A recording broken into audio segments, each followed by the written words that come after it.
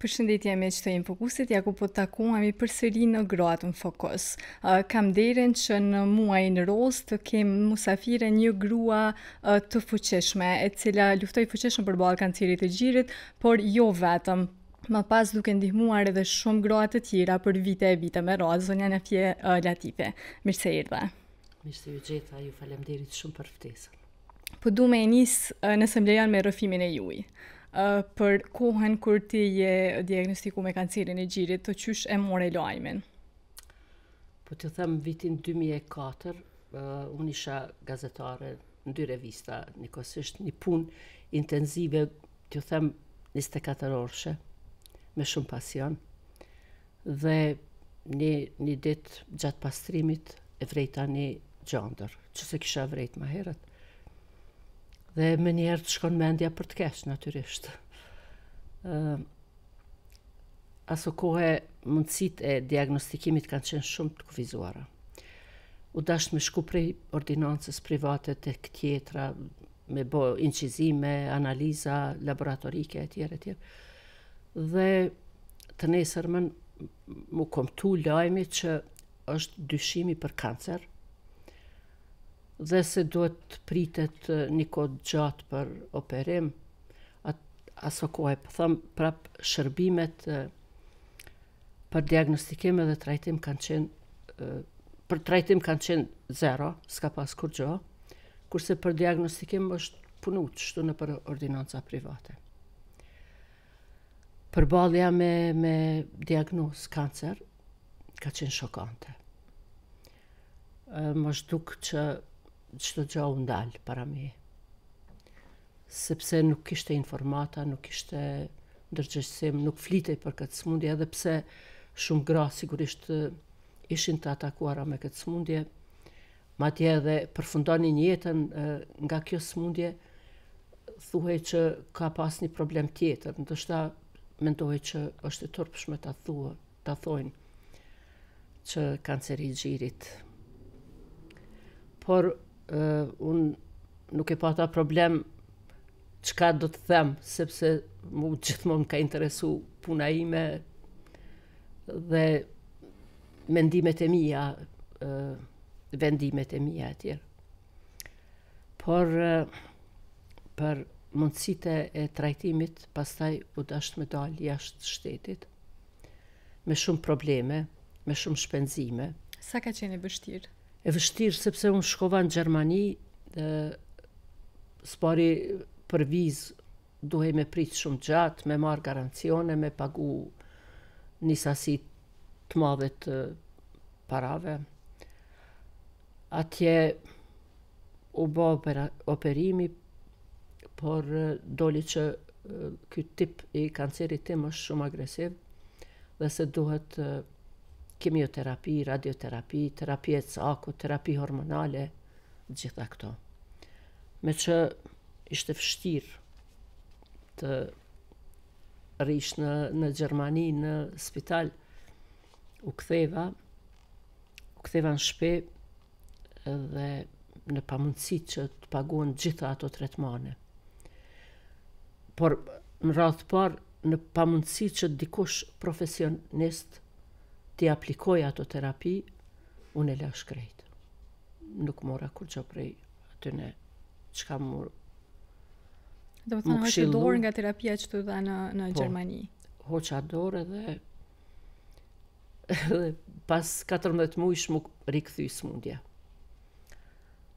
Herën e dytë u operova këtu në Prishtinë, në kushte, në, prapë në ordinancë private, dhe e bona një gjysëm terapie radioterapinë, për të cilën duhej të shkoj në Shkup 25 ditë punë.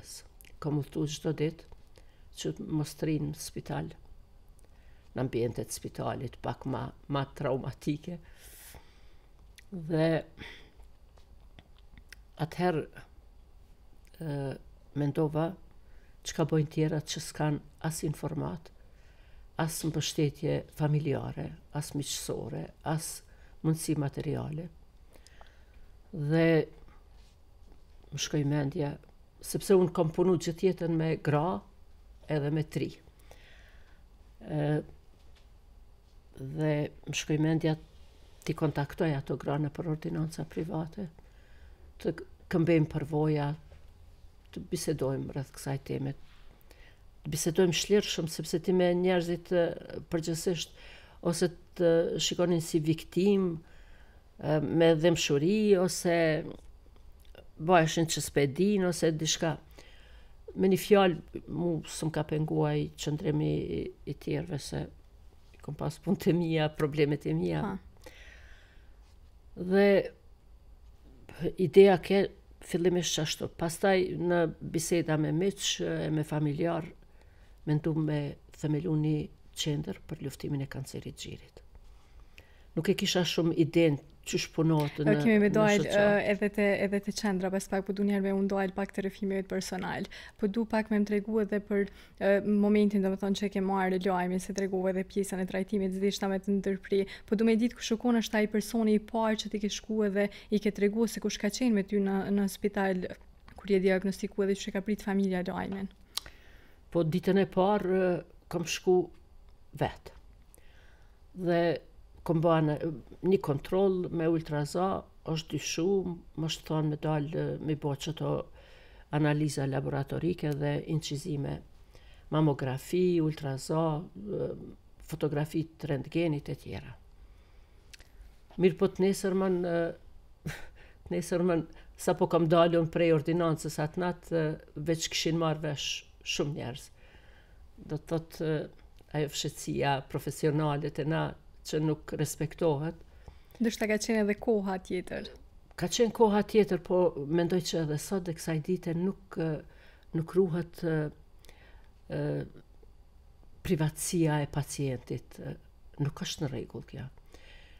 Sepse pacienti tregon aq sa mendon që është e arsyeshme dhe që është e nevojshme. Edhe në fakt është pacienti ai që vendos kujt po don me i tregu edhe kur po. Natyrisht. Mirëpo nuk ndodh kështu. për fat të keq. Un jo që dojsha me fsheh, po s'pari dojsha me kursy familjen teme. Edhe miqtë e mi që mos të mos të mendojnë për problem para se me u diagnostiku saktësisht. Dhe kur shkova të nesërmen në po atë ordinancë, i, i tregova rezultatet që i kom marrë, m'u tha që dyshimi është për tumor malinj, se duhet të operohet me urgjencë, dhe tek kur të operohet shihet saktësisht çka është në pytje. në pyetjen kur muj, ku muj me bo këtë operacion, më kanë thonë që mundesh m'u paraqit në kirurgji torakale, por sigurisht nevojiten 2-3 muj derisa t'vjen rendi e tjerë.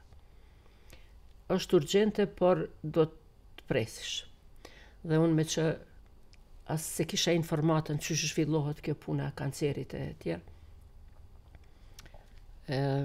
edhe nuk e kisha durimin ma me prit 2-3 muj, vendosa me, me marrë hapa pak ma të shpejt edhe me ba diçka. Mora mendimin e dytë, e tretë, prap me dyshime dhe ju thash shkova në Gjermani.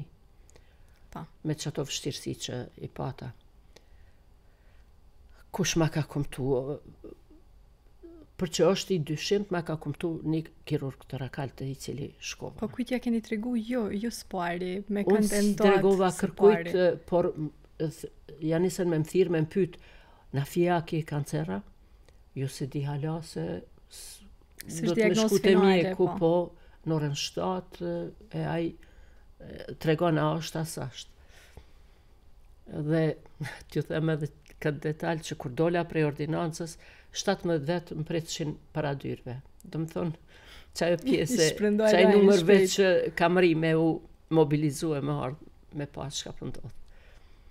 Aty vendosa që nuk do nuk do të bëj kurrë këtu. Sepse m'irritoi fakti që pa e ditë ende diagnozën, e, do të thotë shpërndahet lajmi kot.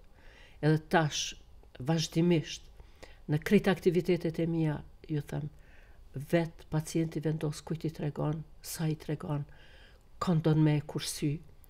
Te na sot bile doktoresha Dafina me të cilën ishim në një intervistë tha familjart mundohen me e rujt pacientin e pacienti mundohet me i rujt familjart kështu që të dy palët vijnë te na dhe thonë mos i trego se e merr për të keq. Tha, e të dy palët e dinë. Po. Domethonë, kjo, kjo është situata, po nuk është ky problemi ma i madh tash veç jemi po, mësu me këtë. Por megjithatë a mendon që ekziston një lloj dallimi prej uh, atëherë dhe uh, tash për të flasim për vitin 2004, a mendon që ekziston një lloj dallimi sa i përket uh, sëmundjes në përgjithësi trajtimit uh, në institucione po, publike dhe private? Po, Patjetër. Është një dallim uh, ta them shumë i madh. Në 2004-tën s'ka pas klinikë onkologjike, s'ka pas onkolog, ka pas pak radiolog, pak aparatura. Edhe ato aparatura, unë mendoj që kanë qenë dalun afatit nëpër vende t'zhvillume, të cilat i kanë ble ordinancat private.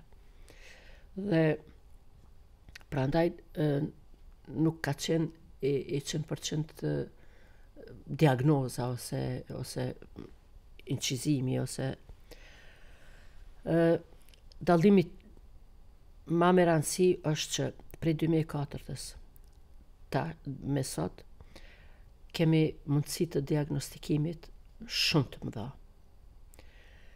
Kemi aparaturë me ultrazë dhe mamograf nëpër, gati në të gjitha qendrat komunale. nëpër qendrat e mjekësisë familjare dhe nëpër spitale. E kemi një mamograf mobil për cilin kemi bo luftë nga viti 2006, sepse e pamë që në vende të pazhvillume një mamograf i tillë mobil, ku nuk ka mjaft aparaturë statike, e ban punën shumë të madhe. E ban edhe informimin e grave, edhe ndërgjegjësimin, po edhe i diagnostikon gratë edhe në stade të hershme. Ky mamograf mobil ka shku në gjitha komunat, është stacionu nëpër afër shtëpive të shëndetit dhe ku i ka pas mundësitë për logistikë ma të mira dhe janë bo mbi 11.000 incizime me atë mamograf. Domethënë, është pagu njëqind herë blerja e atij mamografi edhe pse për te domethënë merita për sigurimin e mamografit kanë qenë grupi i grave parlamentare dhe donacionet e ambasadave e tjera. do të thotë sa i përket diagnostikimit mundësitë janë jashtëzakonisht ma të mira. Sa i përket trajtimit, në vitin 2011 është themelu klinika onkologjike, në të cilën fillimisht ka pas një numër ma të vogël të stafit, tash është i kompletum stafi me mjekë, me radiologë, onkologë, edhe me fizikantë. Ë mungon stafi infermierik gjithmonë, si në çdo spital tjetër, çdo klinikë tjetër dhe ë mund të them që përkushtimi, puna dhe përkushtimi profesional e humanitar i këtyre këtij stafi të onkologjisë është për çdo lavdatë. Tash gratë nuk kanë, gratë tona paciente, nuk kanë nevojë me shku në vise tjera, në Shkupe, në Tirane, ma larg, në Turqi, me bo, me bo shpenzime, me bo probleme, sepse do t'i përcjellë një anëtar i familjes. E kanë boll smundjen e vet, plus edhe këto telashe tjera, vështirë përbalohen në këto situata. Dhe ma gratë nuk kanë nevojë me dalë jashtë. Ato që kanë mundësi dhe që nuk kanë besim ndoshta mund të shkojnë, por mund të them mbi 95% të pacienteve trajtohen, diagnostikohen edhe trajtohen në klinikat tona. Dhe është fat i mirë ë në këtë fatkeqësi të smundjes që tani ë Jemi pranë njerëzve tanë, me familjet tona, merremi vesh shqip, i kemi të gjitha shërbimet, edhe kimioterapinë, edhe radioterapinë, pa nevojë që të pritet gjatë. Kemi edhe terapinë e cakut, që është shumë e shtrejtë, shumë e kushtushme, mbi 3.000 euro, është një terapi të cilën do ta marrin pacientet e çdo tre javë për vite me radhë, terapia hormonale e tjera. Domethonë ndryshimi është jashtëzakonisht i madh, është pozitiv dhe mund t'ju them që unë jam shumë e, e gëzume që ka ndodhë ky ndryshim kaq i madh. edhe un po ashtu po i bashkohna këtij urimi tand në fakt deshta me u ndal pak edhe te pjesa tjetër mandej ti kur veç i ke pa të gjitha këto vështirësi edhe sfida me të cilat përballen gratë ndoshta më shumë po edhe burrat se ka edhe burra që preken me kancerin e gjirit e ke nis një projekt me ndihmën e miqve dhe familjarve në atë kohë a mundesh me na tregu pak më shumë se qysh e nise Jeta Vitën Po, e, në 2004-ën ju thashë që s'kish informata, s'kish ishte temë tabu e tjera. Ideja për themelim m'erdh nga, nga qëllimi, nga nevoja për t'i ndihmu dikujt. Dhe kjo ide u begatu me kohë, sepse unë si ish-gazetare fillova me hulumtu çka bojnë tjerët në botë si, si zhvillohet aktiviteti, ta zomë. Dhe gjitha ato përvoja që i pashë të mundshme m'u apliku këtu te na, u mundova me, me i apliku. Ta zomë, dolëm për 8 mars, para Grandit, ku mblidheshin gratë me festu 8 marsin, me lule, me, me stoli e tjera, na protestum që nuk dojmë lule, po dojmë kujdes ma të madh shëndetësor. E bom një peticion, shpërndajtëm fletëpalosje me informata si mund të bëhet vetëkontrolli. Sepse gratë qatë mundësi e kanë ta njohin trupin e tyne, t'i vrejnë ndryshimet sa ma parë edhe të lajmërohen te mjeku. Do të thotë, gratë duhet në radhë të parë të kenë kujdes për shëndetin e tyre. e pastaj janë obligimet e, e shoqënisë e të profesionistëve me u kujdes për neve. Dhe me atë peticion shkova te Ministri i Shëndetsisë, te Kryeministri, bona kërkesa dhe në vazhdimësi lobova që e, të informohen gratë. Kemi majt pastaj ligjërata nëpër gjitha vendet e Kosovës. me ekspertë shëndetësorë, me kirurg torakal, me gjinekolog, me radiolog, sepse onkolog nuk kishte atëherë. Kemi shku edhe ju kemi tregu si mund ta zbulojnë smundjen, sa është mirë të kontrollohen me ultraza fillimisht në moshën 20 vjeçe e deri në 40, nga 40 të shkohet në mamografi, dhe sëmundja të zbulohet. Parandalim për këtë sëmundje nuk ka, për kancer. S'ka parandalim sepse nuk dihet shkaktari që e, e shkakton. Dhe s'ke çka me parandalu. Por është mirë të zbulohet sa më herët. Kush e ka fatin që e, fatin e kanë çdo e teta grua gjatë jetës saj.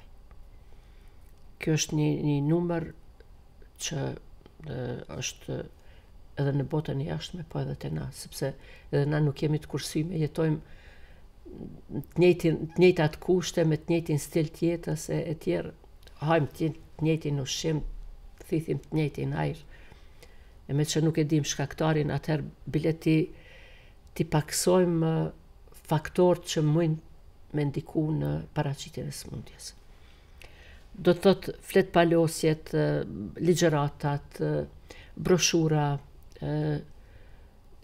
dhe kemi në vitin 2007 për herë të parë meqë unë pata mirëkuptimin e ambasadës amerikane me më ndihmu me funksionalizu zyrën, Kem pas një zyrtare aty në ambasadë amerikane, Kerin Posner Myllen, e cila kishte shumë ide dhe kish përvoja me aktivitete në botën e jashtme.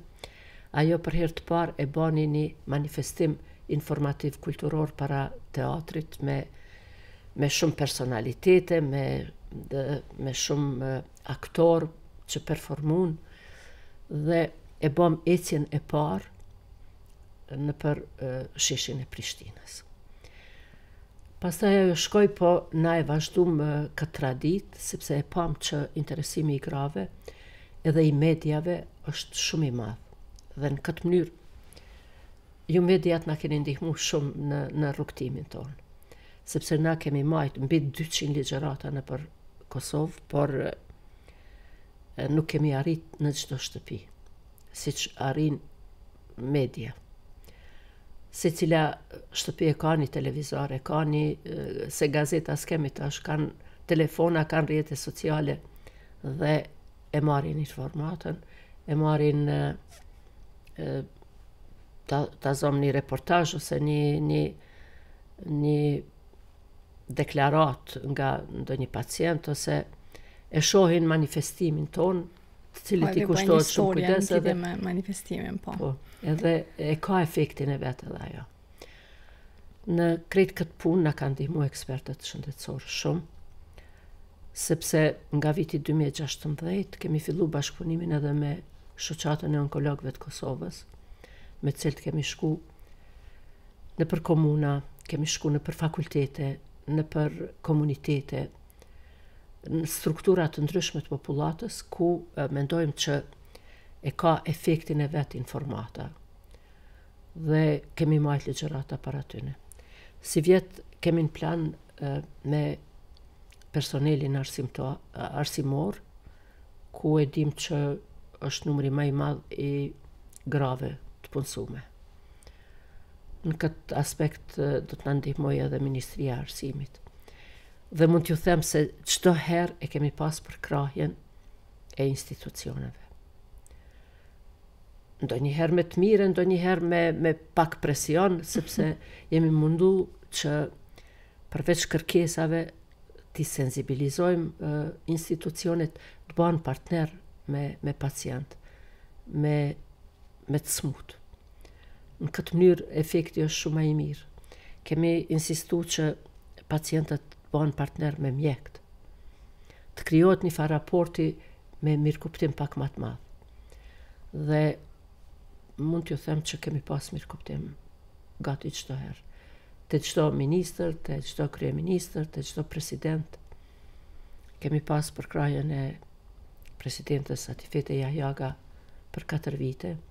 Tani e kemi përkrahjen e presidentes Vjosa Osmani Sadriu me shumë përkrahje dhe me sigurimin në çdo tetor të pajisjeve ndihmëse për gratë me kancer. Ta zëm gratë që marrin kimioterapi i humbin flokët, ato që bajnë mastektomi e humbin një gji, ose dy dhe ju nevojitet një protezë, një gjoksore specifike, gjitha ato tash i kemi të sigurume nga presidentja dhe do t'i shpërndajmë në tetor, gjatë mujit tetor. Kemi përkrahjen edhe, edhe morale dhe materiale të e, institucioneve, po çdo gja vetëm në interes të pacienteve. Na si shoqatë, çdo donacion, çdo ofertë, çdo mundësi që na ipet e adresojmë te pacientet. Sepse si shoqatë nuk kemi nevojë për ndihma. Punojmë vullnetarisht për pacientin, po. Nëse nëse ti e, e përjeton një një një shok aq të madh dhe ke probleme aq të mëdha gjatë jetës, mundohesh e mirëkupton pacientin tjetër edhe mundohesh me i ndihmu. Po, përveç kësaj pjesës të vetëdijesimit dhe të informimit njerëzve në lidhje me uh, sëmundjen e kancerit të gjirit, çfarë shërbime apo ndihma të tjera ofron shoqata për ata që nuk e dinë ndoshta me informu për këtë pjesë? Po na uh, kontaktojmë me gratë dhe telefoni im ka qenë online që 18 vjet, domethënë çdo paciente që ka pas shqetësime, që ka pas uh, nevojë për informata, ku të shkoj, çka të baj, çka ndodh nëse nëse është kjo dhimbje, nëse është kjo. Na, meqë unë jam gazetare, nuk jam mjeke, e ato mendojnë që jam mjeke, sepse kom marrë pjesë në çdo ligjëratë dhe në çdo emision, do të thotë, Është një përkrahje morale. Këtë përkrahje e kemi kërku nga viti 2006 që ta kemi profesionale. Përkrahjen psikosociale për pacientet nga profesionistët. Tash e kemi që disa vite e kemi psikologen në klinikën onkologjike. Kemi kërku edhe ndihmën fizioterapeutike, sepse operimi përveç që shkakton humbjen e gjinit, shkakton edhe efekte anësore, të zëmë në, në sqetulla ku hiqen gjëndrat për me u diagnostiku sakt, dhe gratë kanë probleme me lëvizshmërinë e krahut, shpeshherë ju, ju krijohet ajo limfedema, sepse limfa nuk qarkullon mandej aty rrugëve të përparme, po gjen mundësi tjera, dhe grave ju ajen durt. I kemi dy fizioterapiste në klinikë. Ju thash ka ndru shumë çka.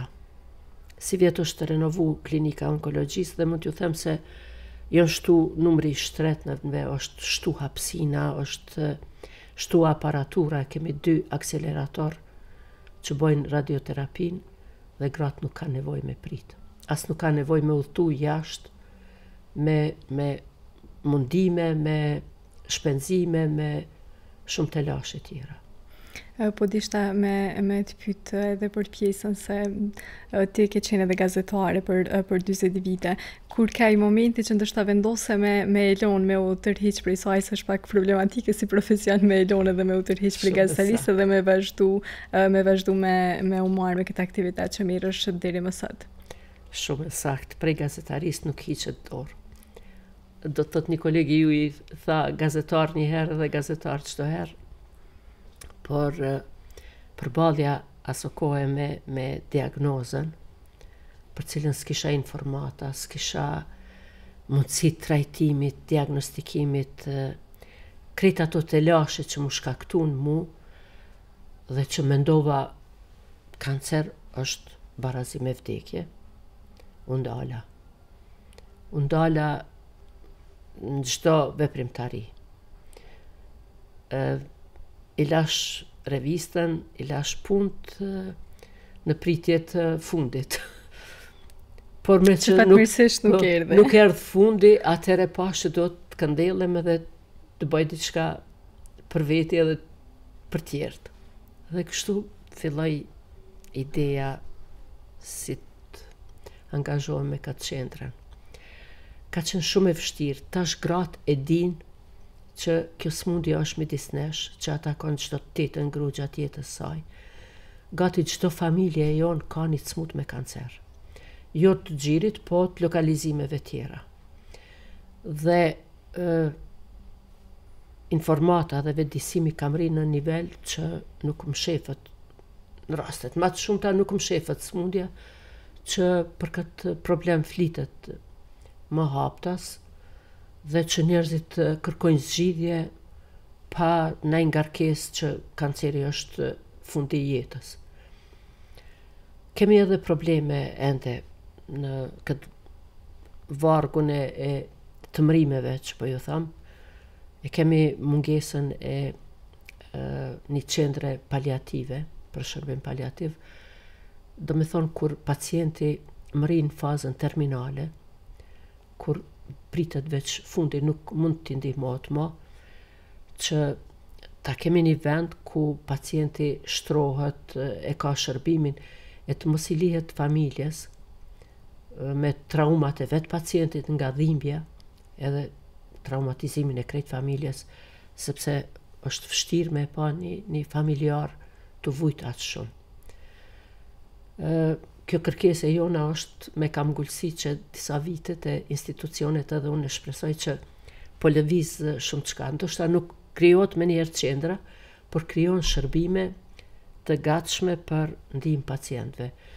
Shkumja nëpër shpija të pacientëve në këto faza dhe ndihmesa, por edhe shtrimi i tyne në onkologji.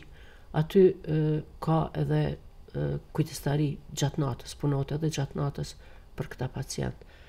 Kështu që lëvizjet janë shumë të mëdha, shumë pozitive. Një iniciativë shumë e mirë, pak shpresojmë që edhe të bohet. Po, po, shpresoj edhe unë. Shpresoj se gjitha ato që janë kërku për vite edhe janë pat nevojshme, patjetër që të sigurohen për popullatën tonë janë bo. Dhe na kemi staf, ju thash edhe njëherë po e përsëris, staf profesional, edhe human. Sepse këta të gjithë janë të nivelit regional ky stafi mjekësor që shkon nëpër të njëjta trajnime me kolegët e tyne në regjion dhe punojnë me protokolle botnore sepse na nuk kemi mundësi me bo hulumtime klinike dhe me vendos vetë protokolle por i marrim të gatshme prej vendeve ma të zhvillume. Pra e gjithë puna juj bëhet në mënyrë vullnetare totalisht. E gjitha. E gjitha, domethon unë nuk kam pranu të kem as zyre, as çdo gja për mos të ba shpenzime, çdo cent që shkon e kemi shumë donacione gjatë tetorit. Kemi kompani të cilat na na ofrojnë ndihmë, na i orientojnë për shembull kompaninë Rugova, ujë Rugove. ë me i vu gjashtë aparate të ujit për paciente dhe familjarët e tyne. Kemi kompani tjera që ndoshta nuk bon me i përmend me emna, por që na ndihmojnë me televizor, me piktura, me shtretën, me çarshafa, me Një kompani e produkteve higjienike, ta zomë, bjen produkte për onkologji, për pacient. Gjithë na përkrahin, gjithë na ndihmojnë, gjithë na ofrojnë ndihmën e tyne. Dhe çdo gja, bash çdo gja shkon në adresë të pacientëve. Uh, ju keni shkru edhe një libër edhe keni vendos me e titullu zbulimi i hershëm do të thotë mbijetesë pse uh, këtë titull Është një, një ta themi një përmbledhje e punëve bashkë me Shoqatën e Onkologëve të Kosovës, një lloj monografie ku kemi dasht me, me qenë të dokumentume gjitha aktivitetet që i kemi ba me Shoqatën, të jenë prezent gjithë onkologët, radiologët, fizikantët, infermierët, fizioterapistët, në një mënyrë t'ju japim një, një mirënjohje këtyne njerëzve që janë të përkushtum për pacientët tanë. Por njëkohësisht kemi shkru edhe për e, aktivitetet tona nga themelimi. Pra e keni bërë pjesë të librit të gjithë ata që ju keni punu me ta? Jom mundu me, me qenë. Edhe me ata që e kanë dhonë veç idenë ose më kanë ndihmu në idenë edhe krijimin e, e, e kësaj shoqate. Tu e ditë që nuk ka parandalim, edhe pse shumica e njerëzve e bile edhe profesionistëve thonë me parandalu. Nuk ka parandalim kur s'e din... Në fakt përdoret shumë si term. Qka kime ndalë? Çka ki me ndalë ti? Çka ki me parandalu? Nëse nuk e din cili është shkaktari. Mendohet që stili i jetesës, duhani, alkoholi, po mendoj disa disa kequshqyerja ndoshta po. Kequshqyerja, po. Nuk ka diçka të saktë e tjerë. Mandej menstruacioni i hershëm, klimak klimaksi i vonshëm. Krejt këto ti nuk mundesh me ndiku. Ti mundesh me u mundu që gjatë jetës me ba jetë ma të shëndetshme, me ushqy ma mirë, ma shëndetshëm, me dalë, me ba aktivitete fizike, me, me ndrru stilin e, e, e jetës që të rihet ullë, në telefon gjithë ditën, para televizionit e etj etj. Por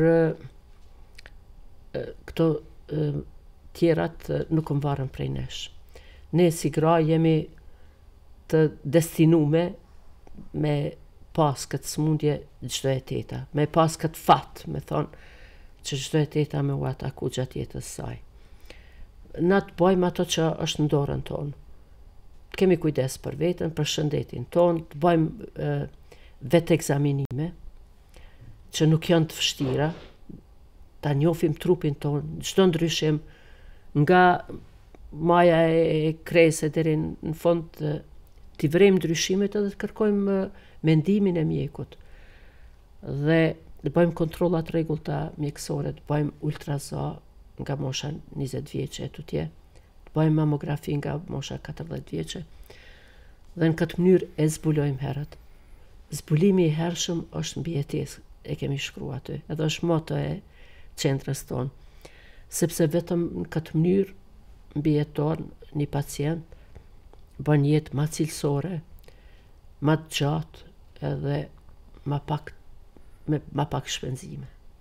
e përmendët disa herë këtë pjesën e parandalimit të sëmundjes se në fakt është term që e kom has edhe në institucione dhe përdoret po. edhe nga mjekët po.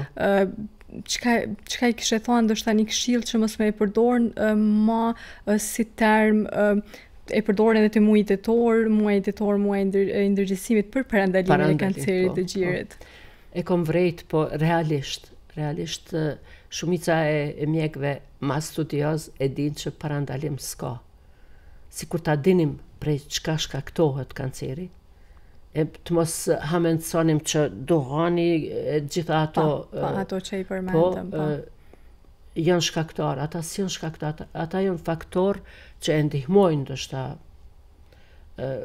shëndetin, cilësinë e, e ma, ma të keqet për shëndet, por nuk janë shkaktar, nuk e dimë. Prandaj është mirë të kemi kujdes për veten dhe të punojmë në në të mos na shfaqen edhe probleme tjera, jo veç kanceri. Po ta zëmë edhe edhe bronkiti edhe gjitha smundje tjera, nëse bëjmë jetë jo të shëndetshme, mundësitë për paracitje janë shumë ma të mdha se nëse bëjmë jetë të shëndetshme, me aktivitet fizik, me ushqyeshmëri më të mirë, e tjera, e tjera. Uh, se erdhëm te, te fundi dhe shkoi kështu goxha shpejt, kisha dashtë për fund një mesazh prej teje për gjitha ato gra që ndoshta uh, veç e kanë zbulu që uh, janë, ose janë diagnostiku me kancerin e gjirit, cili është mesazhi yt për to dhe uh, qysh munden ato me u qasë dhe me pas ndihmë prej, uh, prej qendrës uh, kosovare për uh, luftimin e kancerit të gjirit. Po unë ju thash telefoni jonë, telefoni im personal është tan kohën i qasshëm për çdo pacient, për çdo gru. Në gjitha fletëpalosjet, në gjitha informatat, në gjitha publikimet që i kemi, është ai numër i telefonit. Dhe na mund të bajmë orientim, të ndihmojmë, të këmbejmë përvoja, kjo është mundësia jonë, të ndihmojmë në çdo pikëpamje, ta zëmë një pacient që e, ka probleme, e, nuk e ka barin, na veç mujmë ta adresojmë atë problem, se na nuk kemi mjete me i ndihmu. Po. gratë materialisht. Sepse nuk i marrim ato donacione në shoqatë, por i shpërndajmë menjëherë te pacientet. Dhe kjo është mundësia e ndihmesës. Lobimi, informimi, ndërgjegjësimi dhe sensibilizimi, ndonjëherë edhe presioni që ju thash te institucionet, është kjo mundësi e jona për ndihmë. Dhe prandaj kemi thonë që zbulimi i hershëm është mbijetesë. Keni kujdes për veten edhe një herë po e përsëris. Kjo është moto e imja. Keni kujdes për shëndetin tuaj, të familjarëve tuaj, rrini gati çdo problemi shëndetësor që ju paraqitet. Merrni mendimin e mjekut dhe ata janë profesionistë, ata dinë me udhëzu çka e si ma tutje. Po ndoshta një mesazh shumë personal si për një gruaje që i ka mbijetuar kancerit të gjirit. Kanceri është smundje e randë. Pacienti me kancer e ka rrugëtimin mjaft të vështirë, por duhet ta gjejë forcën në vete, të mos bahet viktimë, të provojë me, me, me gjet mundësitë edhe zgjidhjet sa ma të mira, ato profesionale të mjekëve tanë, dhe të jetë pozitiv në në jetë. Ë njeriu ka forcë shumë ma të madhe se që mendon. Dhe kur e, mundohesh pak ma tepër i, i, i nxjerr edhe ato edhe ato burime të forcës që nuk je i vetëdijshëm që i ke. Unë tre herë kom pas probleme, m'u ka rikthy smundja, por mas çdo operimi, mas çdo, unë e kom vazhdu punën time aq sa kom mujt. Dhe mendoj që edhe tjertë, un, nëse unë në këtë moshë, 74 vjeçare, me krejt ato operacione, probleme shëndetsore, mund të funksionoj, mendoj që çdo kush mund të funksionoj. Nuk duhet të bëhet viktime dhe nuk duhet t'i nënshtrohet smundjes ose problemeve. Atëherë me këtë mesazh kaq të fuqishëm edhe të mirë po e mbyllim edhe emisionin. Faleminderit shumë për kohën. Faleminderit shumë për ftesën edhe për mirëkuptimin, për edhe për mesazhin që ju e përçoni me median tuaj në çdo familje, në çdo shtëpi. Ju faleminderit. Faleminderit e Briti.